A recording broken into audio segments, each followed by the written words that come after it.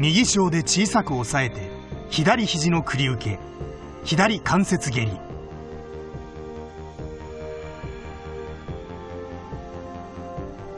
猫足の移動は腰を上下させない。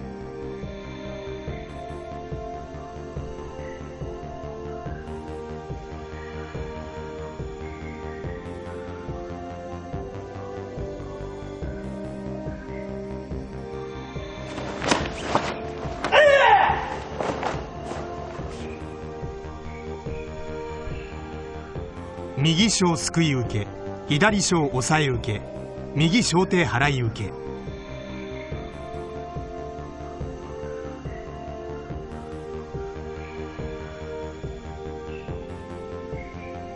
両上足底を使って腰の捻転を行う。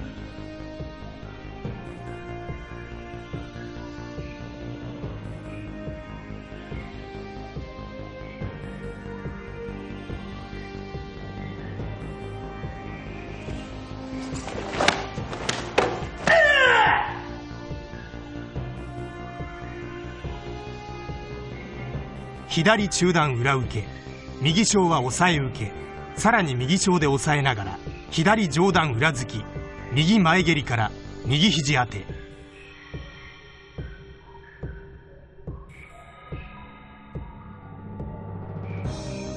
この時肘当てで気合を入れる。肘当ての位置は肩より高すぎないこと。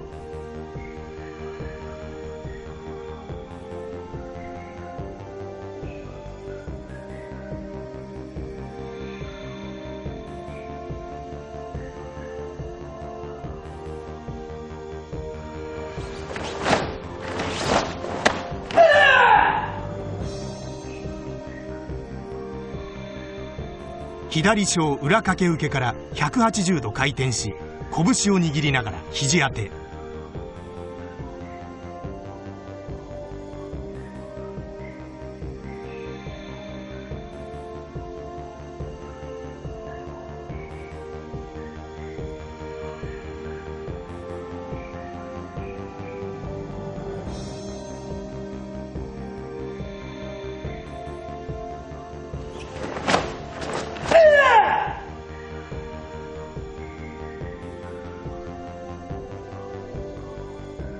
羽交い締めの指を取ってひねり外し両肘を締めながら後頭部で当てる。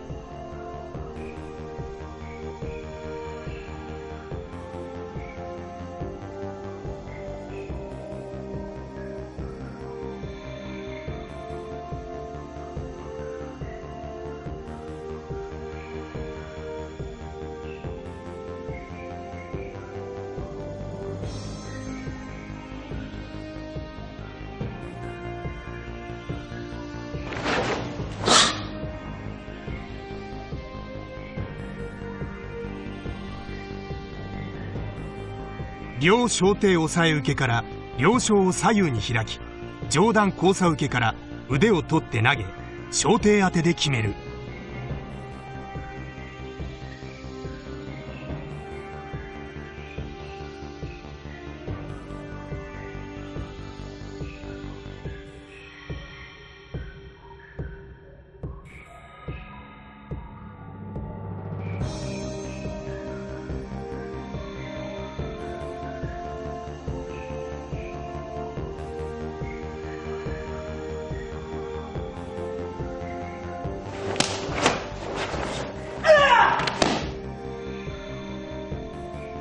左小で買い込み右小手で倒してさらに小手当てで決める。